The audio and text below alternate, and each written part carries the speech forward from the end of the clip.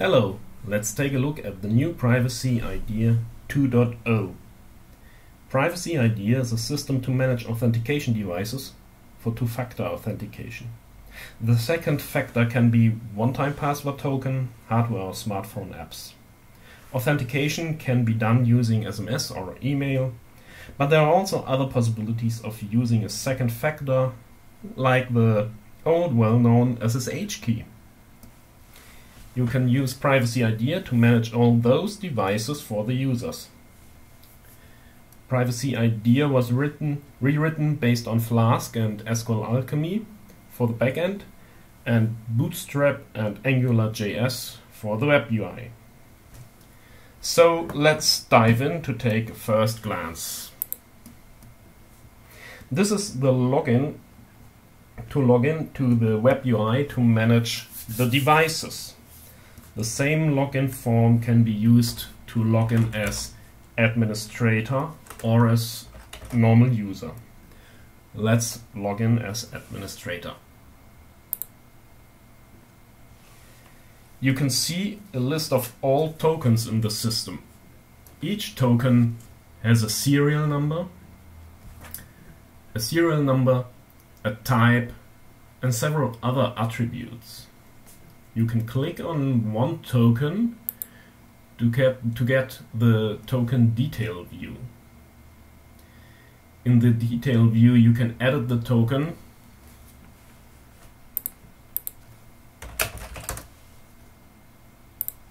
and you can test the token for example.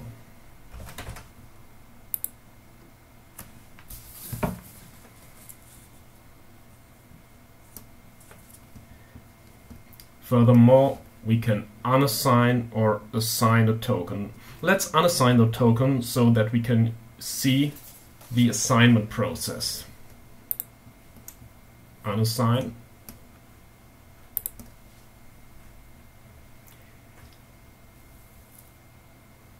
We can type the username we want to assign and the system finds automatically which user we are going to assign the token to can assign a pin and click assign user. Now the token is assigned to the user again.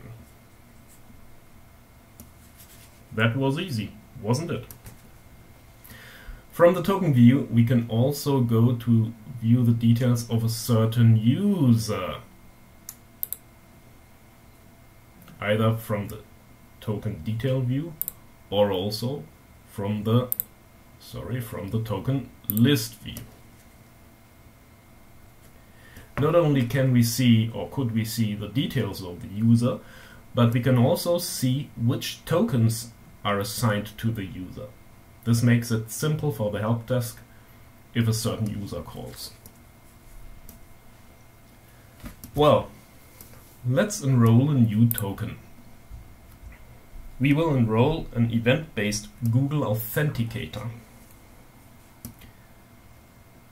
For this we click enroll token. We can choose which kind of token, which type we want to enroll and we can again assign the user to enroll. And we set a pin. Finally, we click enroll token and we are presented a QR code which we can scan with the Google Authenticator app, which will I do now.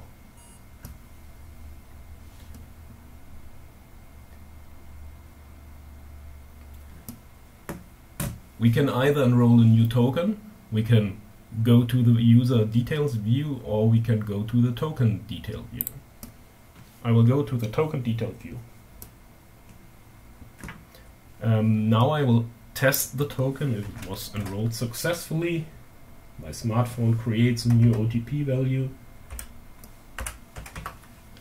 I click test token and the system tells me that I tested the token successfully. Perfect. The web UI will log us out after a certain idle time. Well, we did not take a look at the configuration yet or at the audit log. All this and other stuff will follow in the next screencasts.